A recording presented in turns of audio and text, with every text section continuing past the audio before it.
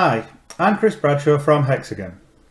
So we've completed our static analysis, but Caesar 2 also includes dynamic analysis capabilities. During this video, we'll take a look at the basics of the dynamic analysis module and we'll see how to set up and run a simple modal analysis in order to calculate the natural frequencies for our piping system. This is something that's highly recommended for all pipelines.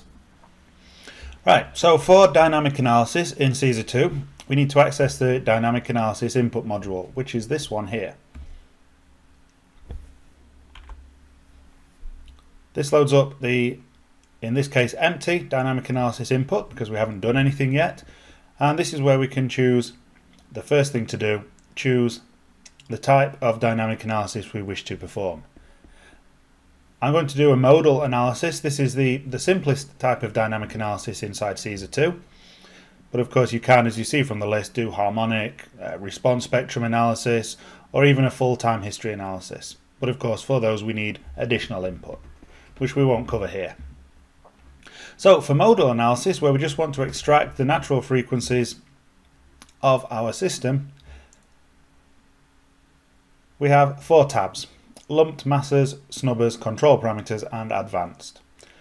So for lumped masses and snubbers, these are for any additional masses that we need to specify that you know wouldn't really have had much of an effect on the static analysis. That wasn't necessary to define them for the static analysis but of course they may have much more significant effect in a dynamic analysis. So we can define them here. You can also define them inside the static analysis as well. Uh, for this example I'm not going to define any but you simply define the kilogram the direction kilogram mass the direction in which it acts and the node numbers at which this mass would be applied at. Similarly, for snubbers, uh, you can also define snubbers in the static input. You can specify restraint, define it as a snubber, specifying the stiffness, etc. Or you can define the snubber here in the dynamic analysis as well. Again, in this example, I'm not going to have any snubbers. So I'm going to go straight to page 3, control parameters. And in here, well, we can choose various different settings. So um, I'll start with number two. I'll come back to number one in a second. But here we can define a stiffness factor for friction. Um, we've not used friction, or I haven't used friction in my examples previously, so there's no friction in the model anyway. But if there was, you could define a factor in here. Typically, this is a value of um, generally around about 1000 is what you would specify in here. Any further information that you require you can gain by pressing F1 on your keyboard to explain in more detail what that stiffness factor does. Then fields 3 and 4, these work together to determine the maximum number of mode shapes or eigenvalues that are going to be calculated. You can either specify and tell Caesar 2 will calculate me the first 10 lowest natural frequencies or you can tell Caesar to keep calculating natural frequencies until you hit a, hit a frequency cutoff of, for example, let's say, let's go slightly more than 50 hertz, let's go say to 75 hertz.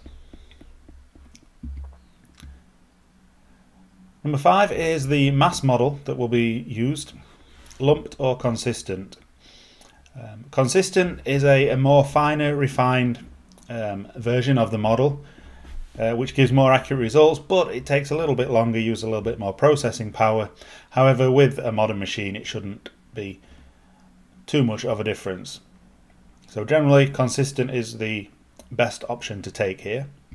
And number six is, do you wish to perform the Sturm sequence check on the computed eigenvalues to make sure you've computed all of the required eigenvalues. Sometimes if you've got a particularly directionally dependent system, then the eigenvalues, the natural frequencies, may converge slightly out of order. So performing the Sturm sequence check, just make sure you haven't missed any.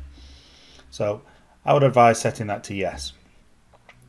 Which leaves me with number one, the static load case for the nonlinear restraint status.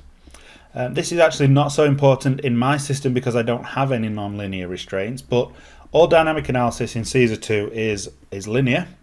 So we must convert or linearize our nonlinear model if we have any nonlinearities. These could be such as a single acting restraint, uh, gaps, etc., any nonlinearities. and you simply select from the run load cases that you've run the load case that you wish to use for the nonlinear restraint status and the load case that you select here the status of any nonlinear restraints in that case is used so for example if you have a restraint with a gap if the gap is closed then that restraint will be acting in this dynamic analysis. That leaves then only the advanced page and generally the advanced page you don't need to touch anything here unless you get a message from Caesar 2 telling you that that's needed.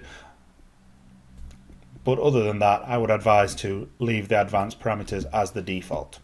And for a modal analysis that's all the setup we need. So the only thing to do is hit the running man. The dynamic input is then checked and the dynamic analysis then kicks in. So you get a list view showing the process. Here's showing the natural frequencies that have been extracted. Frequency 15 was the first one above 75 Hertz, our cutoff. And that's it. Here we see the results. So because we only did a natural frequency calculation, we didn't run any load cases, so there are no load case specific reports available. But here we see the general results for the dynamic analysis. So we can see as a list view, the natural frequencies. So our lowest first natural frequency is 9.4 Hertz, which is pretty reasonable. It's not too bad. Our system's not too flexible. It's not too likely to get excited, I would say. And what we could also view is we can view the graphical representation, the animated version of our mode shapes. So I'll maximize that and select the mode shape that you wish to, to view. Let's go for the lowest natural frequency.